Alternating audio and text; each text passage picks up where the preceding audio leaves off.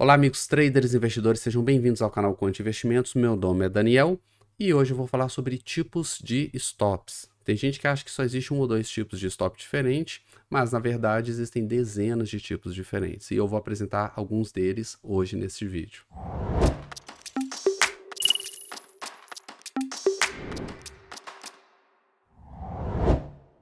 Uma das primeiras coisas que aprendemos quando iniciamos no trading é que nós nunca devemos entrar numa operação sem ter definido os pontos de saída daquela operação. Numa operação específica, a gente nunca sabe se ela vai terminar em lucro ou prejuízo. Então, por isso que a gente tem que estar preparado para caso o mercado venha contra a nossa posição, a gente tem que ter uma regra, estabelecer uma regra para sair daque, daquele trade, daquela operação. É para isso que servem os stops. Mas os, a, a, forma de se definir os stops são várias, são múltiplas, e tem gente que só aprende uma ou duas formas. Então, esse vídeo é para mostrar que existem várias possibilidades de se fazer isso. Primeiramente, eu vou compartilhar aqui o meu gráfico. Então, tem um gráfico aqui, um gráfico genérico, tá? Não tem nada de especial aqui nesse período. Eu peguei apenas o um momento de alta aqui, onde ele rompeu um topo anterior, né? Peguei aqui um, um pivô de alta no índice futuro, tá? Coloquei essa linha amarela para marcar a máxima desse período aqui. E vamos considerar que esse candle aqui, ele marcou o ponto de entrada, Tá? Isso aqui, se fosse um don't, se fosse um cruzamento de médias, seria a mesma coisa. Tá? É só um ponto de entrada genérico. Então vamos supor que esse candle aqui ele foi o meu ponto de entrada. Uma vez que eu entrei na operação, seja no rompimento da linha, né, da máxima anterior, seja aqui no fechamento do candle, não importa. Uma vez que eu entrei, eu preciso definir o stop, né, porque eu espero né, que o preço suba, né? Se eu comprei aqui é porque eu estou esperando que o preço suba. Nesse caso, a expectativa até se cumpriu, mas poderia muito bem ter voltado e ter estopado a nossa operação, tá? E no caso disso acontecer, a gente tem que estar preparado. Então, eu entro, eu entro neste candle e onde eu coloco stop?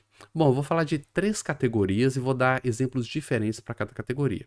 A primeira categoria de stop são os stops fixos, tá? É um stop que você coloca ali na tela e deixa lá e você não atualiza, não mexe nele tá? Existem vários tipos dentro dessa categoria, vários tipos de stop. Um dos tipos mais comuns é o stop técnico. O que, que significa um stop técnico? É um stop que ele é justificado pelos princípios da análise técnica. Então, caso eu entre nesse candle, eu poderia, por exemplo, colocar um stop neste, neste fundo anterior. Por quê? Porque, segundo a análise técnica, se eu tenho uma formação de fundo, é porque eu tenho uma grande força compradora nessa região. Então, se eu perco essa região, é porque a força compradora acabou e esse preço a partir de agora ele pode cair muito. Então, se ele perde essa região, existe uma grande probabilidade de continuar caindo. Então, posso escolher este fundo aqui como uma região de stop, seria um stop técnico. Eu poderia também colocar o stop na mínima deste candle. Vou aumentar o zoom aqui. Então, tenho aqui o meu candle de entrada, tá? Vou até aumentar a espessura dessa linha aqui para ficar mais nítido. Ficar bem nítido aqui. Então, tenho aqui o meu candle de entrada e acredita-se que eu, muitos compradores entraram aqui acreditando nesse rompimento. Então, se o preço voltar e devolver toda essa alta e perder essa mínima, é um motivo para eu acreditar que o preço vai continuar caindo. Então, é uma outra região boa para eu colocar um stop fixo. Então, poderia também colocar o stop na mínima desse candle. Tá? Então são formas diferentes de colocar o stop fixo utilizando análise técnica. Agora, além da análise técnica, eu posso usar outras coisas, outros justificativos para colocar o stop. Eu poderia, por exemplo, colocar um stop percentual. Tá? Então eu tenho que medir tá? qual que é a variação média ali do tamanho dos candles. Se eu pegar esse candle aqui, por exemplo, ele teve uma variação de 1,46%. Esse outro aqui, 2,55%. E esse aqui, 0,47% tá? 0,47. Então, assim, em média, foi algo em torno aí de 1,5% mais ou menos, 1,5%. Então, eu posso pegar o meu ponto de entrada, projeto para baixo 1,5%, eu posso pegar um número redondo, 2%. Meu stop vai ser um stop percentual de 2%. Então, vamos supor que a minha entrada foi aqui, tá? No fechamento do candle, eu calculo 2% para baixo, vai dar mais ou menos aqui, ó. Tá? Mais ou menos aqui assim, ó. Cadê 2%? É mais ou menos aqui. Colocaria o stop por aqui tá? Aqui embaixo. Isso é um stop percentual. Para saber o valor ideal, tem que fazer backtests. Aí eu testo ali com meio por cento, 1, 2, 3, 2,5, né? Para otimizar aí um melhor resultado para usar o stop. É um outro tipo de stop fixo, um stop fixo percentual. Um outro stop parecido com o percentual é o stop financeiro. Tá? Às vezes, nós pode ser que o tamanho da nossa mão, usando uma linguagem de jogo, né? O tamanho da nossa mão, o tamanho da nossa posição, ela varie. Né? Dependendo ali do, do tipo de sinal, a gente pode entrar mais pesado ou mais leve, né? Nesse caso, ao invés de usar um, um percentual fixo, eu posso calcular um valor de perda. Vamos supor que eu estou fazendo ali day trade eu não quero stops acima de 100%, de 100 reais. Tá? Então, eu vou calcular uma distância onde o meu prejuízo financeiro seja fixo de 100 reais. Tá? Ah, estou operando swing trade, tá? então não quero perder mais de mil reais, por exemplo. Então, vou calcular uma distância onde a minha perda ela é igual a mil reais. Então, todos os stops que eu tiver a partir dali são, serão stops fixos de mil reais. Então, o que eu fixo ali é a minha perda financeira. É uma outra forma de trabalhar um stop fixo. Então, vou fazer o cálculo, tá? A, a, própria plataforma, eu posso arrastar aqui a ordem de compra ou de venda, ela já calcula ali qual que seria o meu suposto prejuízo, né? Se a operação não for a favor, e eu já tenho ali o meu ponto de stop, tá? É bastante utilizado também, e muitos backtests mostram que o stop financeiro, ele é muito útil, tá? Ele é muito bom, tem uns resultados muito bons em algumas estratégias. E por fim, para encerrar essa categoria de stops fixos, podemos usar um indicador para determinar esse stop fixo. Tá? Eu poderia, por, por exemplo, utilizar o ATR. Tá? Então, eu insiro aqui o ATR. Tá? No Profit ele tem o nome de True Range. E vamos pegar aqui o ATR, por exemplo, dos últimos 10 dias. Aplicar. Tá? Então, esse candle aqui foi o meu candle de entrada. Eu vou dar uma olhada no tamanho do ATR do dia. Ó. O ATR desse dia foi 2005. Então eu posso, vamos supor que a entrada foi na abertura, na abertura. Eu posso colocar 2000, 2005 como meu stop, tá? Ficaria mais ou menos aqui embaixo, ó. Vou colocar uma outra linha aqui, tá? Bem mais ou menos assim, ó, só, só para pegar a ideia. É mais ou menos aqui mesmo. Tá? Então, meu stop seria aqui, stop fixo. De onde que eu tirei esse stop? Daqui, ó, do ATR. O ATR, ele mede o tamanho médio dos candles, nesse caso aqui configurei para 10 candles. Então, o que, que ele fez? Ele pegou os últimos 10 candles, calculou aí mais ou menos o tamanho médio e me diz que o tamanho médio é em torno de 2 mil pontos. Então, projetei 2 mil para baixo aqui, ele é o meu stop. Ah, eu preciso de um stop mais longo. Usa duas vezes o ATR. Em vez de colocar 2 mil, coloca 4 mil. Ficaria aqui embaixo tá? Então, eu estou usando um indicador para definir o meu stop fi fixo. Ah, Daniel, é só o ATR? Não, você pode usar vários outros indicadores, tá? Você pode usar, por exemplo, um, um Dontia, que vai marcar a mínima de um determinado período, fixa aquela mínima e utiliza ele como stop. Vou mostrar aqui para vocês de exemplo. Ó, Dontia, canal Dontia, inserir, tá? Vou pegar aqui, por exemplo, 10 períodos, ó, tira essa média, que a média não me interessa, aumentar a espessura, 10 períodos e faz um deslocamento aqui. Ok. Tá? Então a minha entrada foi aqui, olha onde que o Don't andava, lá embaixo. Ó. Então ele vai ser o meu stop e eu mantenho fixo, tá? Coloco o meu stop aqui, ponto final tá? É uma outra forma de usar indicadores. Você pode usar vários indicadores e aí você faz os testes para ver qual indicador é ideal para definir o seu stop. Todos esses stops são stops do tipo fixo.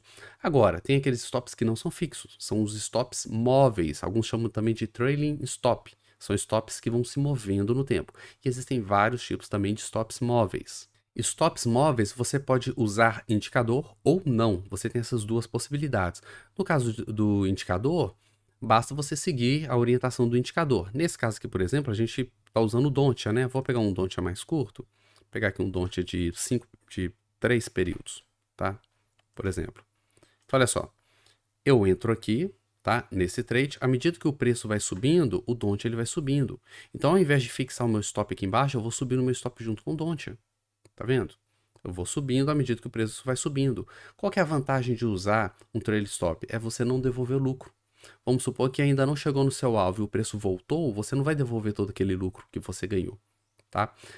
Um ponto negativo é que ele costuma diminuir a taxa de acerto, tá? É por isso que você tem que fazer o backtest para ver se esse trade-off aí compensa para você, porque por um lado você vai devolver menos, tá? Mas por outro lado, ele diminui um pouco a taxa de acerto, sempre que a gente usa um stop móvel, tá?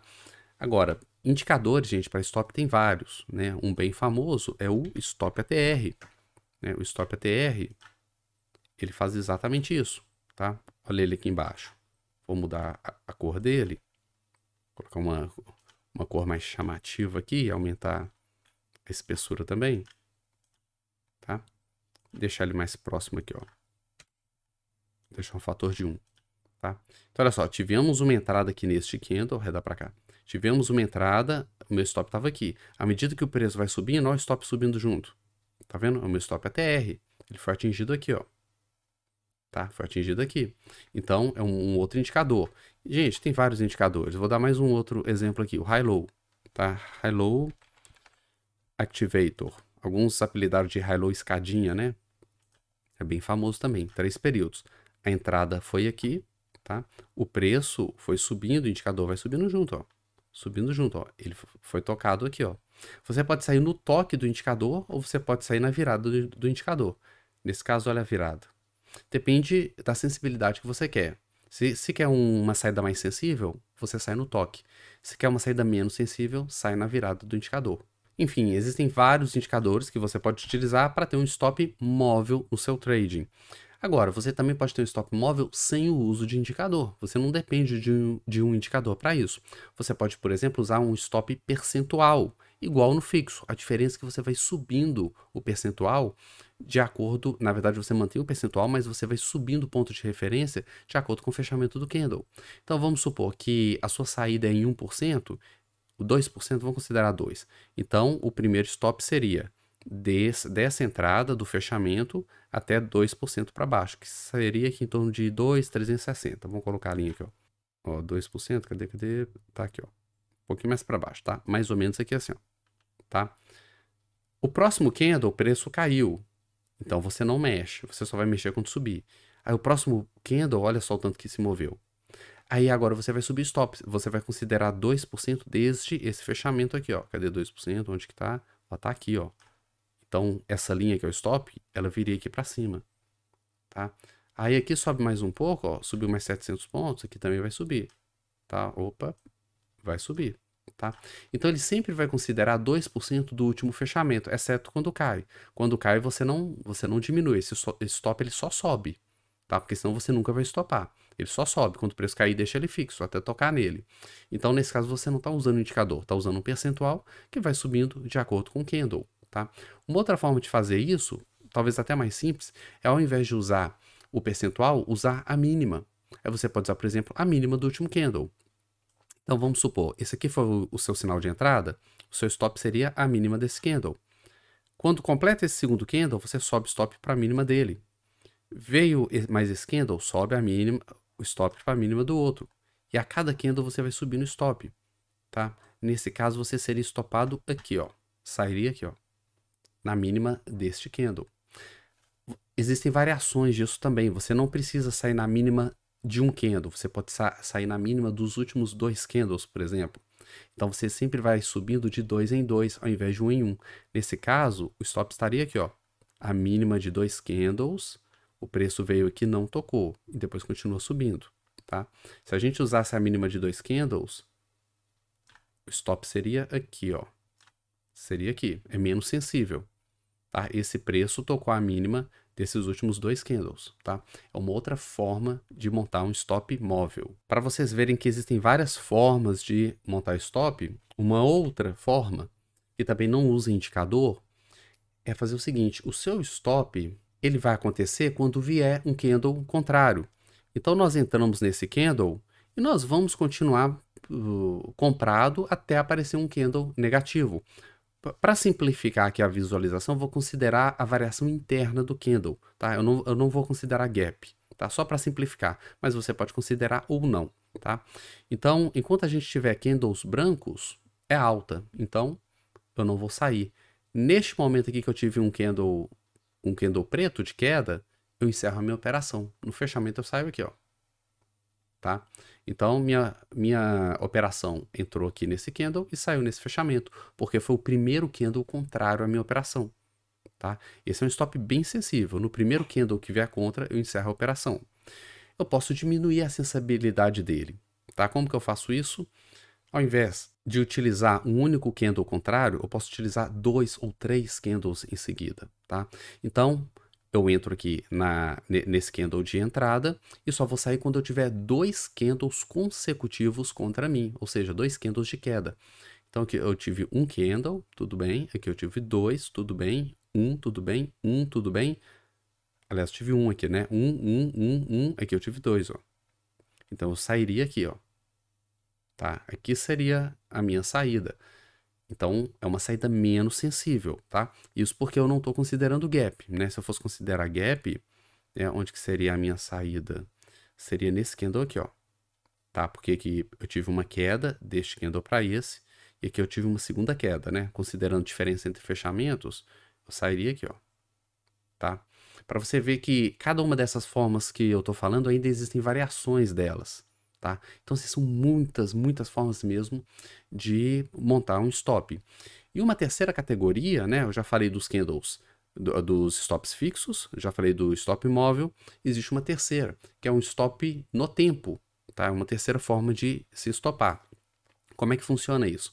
É o seguinte, você precisa fazer um estudo da sua estratégia e ver se faz sentido, tá? Tem estratégias que, se elas não andam logo no início, a probabilidade dela dar prejuízo é muito alta. Para esse tipo de estratégia é excelente stop no tempo. Então você pode determinar, por exemplo, que depois de 5 candles você vai encerrar sua operação. Não interessa se está no lucro ou no prejuízo. Nesse caso, né, nós entraríamos aqui neste candle 1, 2, 3, 4, 5. Neste candle aqui a gente sairia da operação independente de qualquer sinal, independente de qualquer coisa. Completou cinco candles de operação, eu saio. É claro que esse número ele não é arbitrário, a gente não chuta assim, ah, 5, 8, não é um número que você tira da cabeça. Tem que fazer o teste para saber qual é o melhor número e se aquilo faz sentido. Tá? Porque muita estratégia, ela tem essa característica de quando ela funciona, quando ela dá lucro, ela anda logo no início. Quando ela começa a patinar logo no início, ela já não anda e tal, porque vai dar prejuízo. Então você já sai logo. Então faz muito sentido para esse tipo de estratégia, tá? Essa é uma das formas de usar stop no tempo. O próprio stop no tempo também tem várias formas de você fazer, tá? Uma outra forma de usar stop no tempo é você determinar um tempo fixo, tá? Isso é muito usado por day traders, né, que tem que encerrar a operação no final do dia, mas eles fazem isso porque não pode manter a operação para o dia seguinte, tá? Mas você pode usar isso como estratégia. Você pode, por exemplo, determinar, ó, eu vou sair na sexta-feira, tá? É um stop no tempo. Toda sexta-feira eu encerro minhas operações, ou na quarta-feira, ou na segunda-feira, tá? Ou no, no, dia, sei lá, no dia 10, ou no último dia do mês, no último dia de, do mês eu sempre encerro minhas operações de swing ou de position, por exemplo, tá? Ou se está fazendo day trade, 3 horas da tarde, chegou 3 horas eu vou encerrar minha operação. Fixar um limite dentro do tempo ali um limite de saída, tá? Um limite para operação. Isso também pode trazer um resultado muito interessante para várias estratégias. Mais uma vez eu repito, tem que fazer os testes para saber se funciona ou não, se faz sentido ou não para sua estratégia. E se você não sabe como testar e quer aprender como fazer esses testes, não deixe de assistir o meu aulão Estrategista Quant. O link está aqui na descrição do vídeo, só clicar lá que eu vou falar bastante, explicar como que funcionam esses testes para você que quer aprender como fazer esses testes no trading. E para vocês que estão em dúvida se fazem operações de swing trade ou operações de day trade, eu vou deixar um card aqui para vocês sobre um vídeo onde eu mostro um comparativo entre vantagens e desvantagens dessas duas abordagens, o day trading e o swing trading. Espero que gostem do vídeo, vejo vocês lá, um abraço e até mais.